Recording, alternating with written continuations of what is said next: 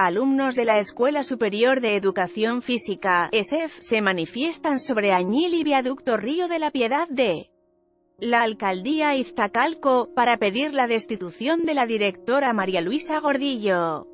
Este bloqueo afecta la circulación de la Avenida Río Churubusco, por lo que se recomienda tomar precauciones, así como optar por vías alternas ya que se encuentran cerrados los carriles centrales con dirección al Aeropuerto Internacional de la Ciudad de México.